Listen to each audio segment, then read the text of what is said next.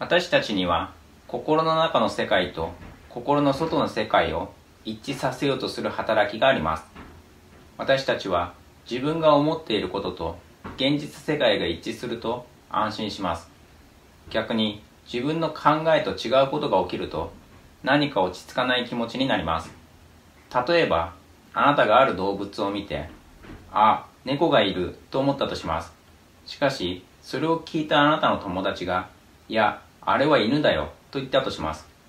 あなたは自分が猫だと思ったものを犬だと言われることで嫌な気持ちになります。なぜならそれは犬だと言われることで心の中のイメージと心の外の世界が異なってしまうからです。そんな時あなたは自分を安心させるために自分が思っていることと現実世界を一致させたくなります。いやあれはどう見たって猫でしょう。にゃーと泣いてるしキャットフードを食べてるしと自分の正しさを証明したくなります。それが猫かどうかはともかく私たちには心のイメージと現実世界を一致させようとする働きがあります。私たちの中には自分はこういう人間だという自己イメージがあります。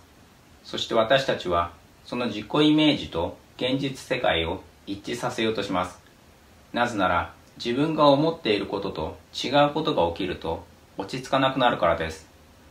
例えば私はダメな人間だという自己イメージを持っている人がいるとします。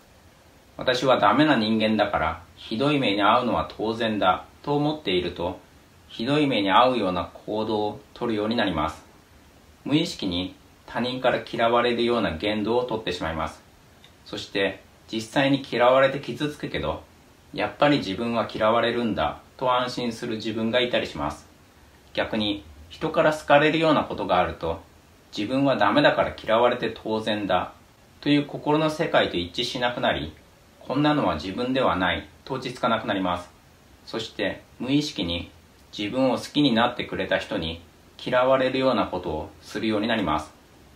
また自分はダメだという自己イメージを持っていると意識下では叱られたくないと思っていても自分はダメだから叱られて当然だという心のイメージと一致するような行動をとるようになります。そして実際に仕事でミスをして上司に叱られたりします。また大切にされたいと切実に願っていても自分はダメだから大切にされるはずがないという自己イメージを持っていると大切にしてくれない人間関係ばかりを選ぶようになります。彼氏に暴言を吐かれたり暴力を振るわれたりお金をせびられたりして嫌な気持ちになっているのに心のどこかでこうなるのも仕方がないと諦めている自分がいたりします。自分はダメだと否定していると自分をダメだと否定してくる人と一緒にいることで自分を落ち着かせようとするようになります。心の世界と現実世界を一致させることで自分を安心させようとします。しかしそのやり方を続けているとどんどん自分を不幸に追い込んでしまいます。人格を否定してくる人たちを集めたり好きでもない習い事を始めたり嫌いな仕事を我慢して続けたりと自分を苦しめることばかりをするようになります。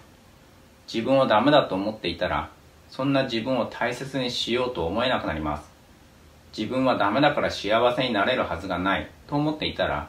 自分を幸せにするための行動を起こすことができなくなります。